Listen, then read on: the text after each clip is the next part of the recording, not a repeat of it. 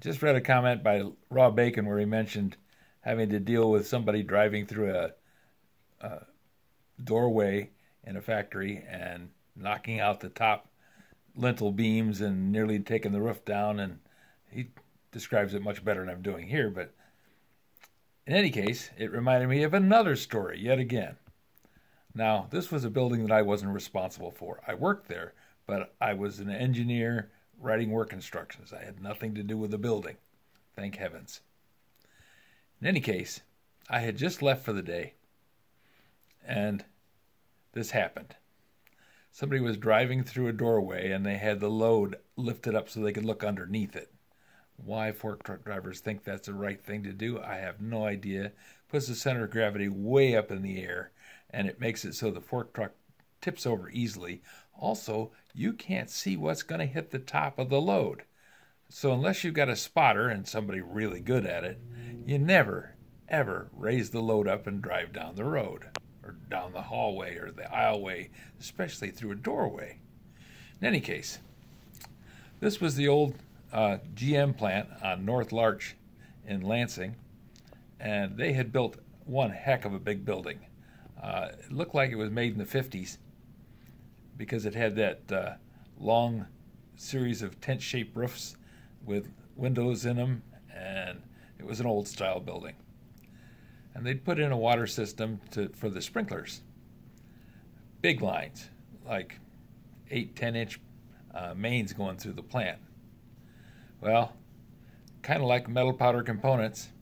Guy was driving through the doorway, had the load up in the air, ran right into a six inch line. Now, water lines for sprinklers don't have shutoffs, except where you can get a handle on it. You have to take a lock off, put a handle on it, and shut it off because they don't want you to be able to shut off sprinklers. They want those sprinklers to run as long as they need to run. So, when they popped that six inch line, it was pumping out water, and I mean Olympic pool size water fill in the building and just going all over the place.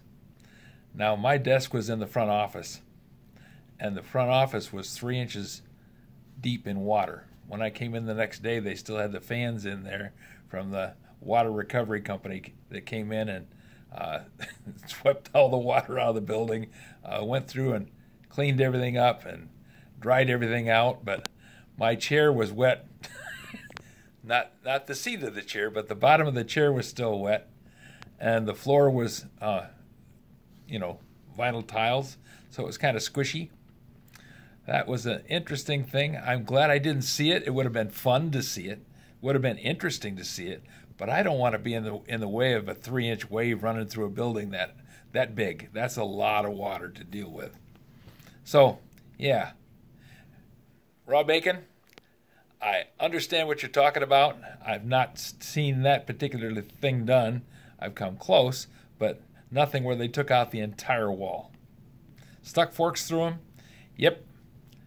Hit uh, main building beams? Yep had uh, people run into uh, other people on fork trucks like they're playing uh, uh, bumper cars. Yep. But never had one take out anything that threatened to take down the roof.